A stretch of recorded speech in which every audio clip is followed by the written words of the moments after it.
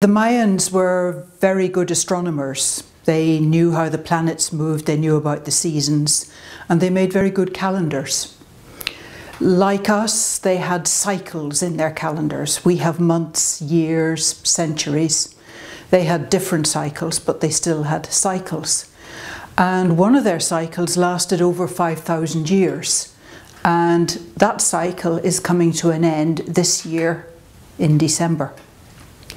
Now, the Mayans, as far as I can understand, reckoned that that was the end of a cycle and that there would be a new cycle following it, a rebirth.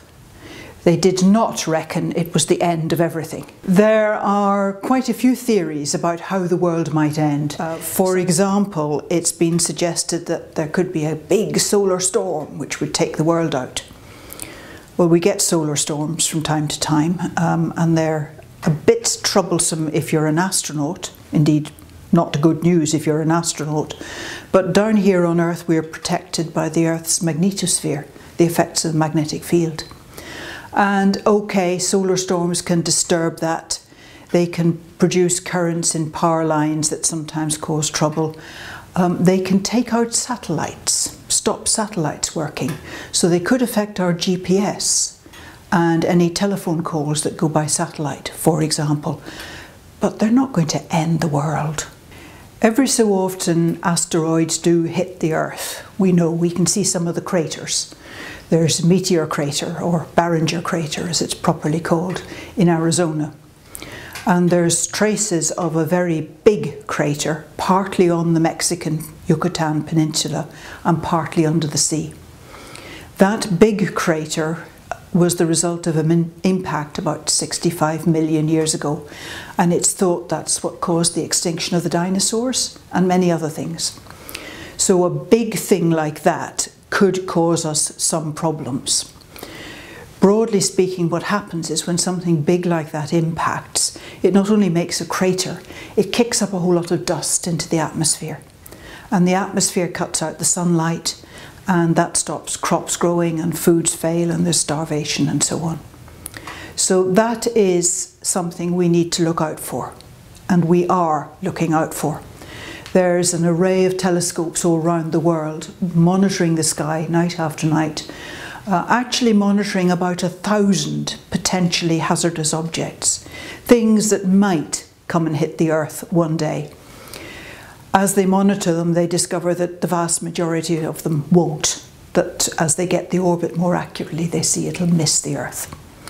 But if there was something coming to hit the Earth, we'd get two or three years' notice. And even with today's technology, we could divert it so that it didn't impact the Earth. And there's research going on all the time which will improve that technology so that it gets easier to divert an incoming asteroid.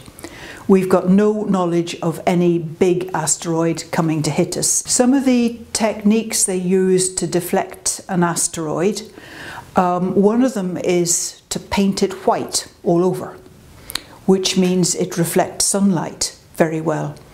And the sunlight bouncing off the asteroid will push it sideways so that it'll move away and not hit the Earth.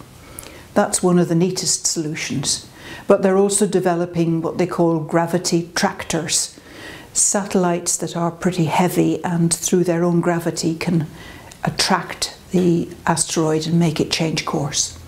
And there's also some that will actually physically hook onto the asteroid and tug it aside. So there's lots of ways of doing this. The magnetic field of the Earth, the thing that makes your compass point due north, that flips over every so often and I'm using flip as a geologist would use flip. The flip actually takes 5,000 years. We think what happens when a flip is coming up, you know, in a few thousand years, is that the Earth's magnetic field starts to shrink. Doesn't disappear completely, but it shrinks. It then turns over, north becomes south and south becomes north, and grows again. And at the moment, it is true, the Earth's magnetic field is shrinking. But we've only been measuring the Earth's magnetic field for about 200 years, and we don't really have a very good database. It may meander around a bit anyway. Or it might be the beginning of a flip. But remembering it takes 5,000 years, it's not going to be accomplished before the end of 2012. In the last two or three million years since tool using people started appearing on Earth, there have been about a dozen of these flips of the Earth's magnetic field, and it doesn't seem to have done anybody any harm. I do a lot of outreach lectures, and starting several years ago, particularly in the USA, um, particularly lecturing to schools, regardless of what I was lecturing about. At the end, some kid would put up their hand and say, Is the world going to end in 2012? And after two or three questions like this, I thought I'd better look into it.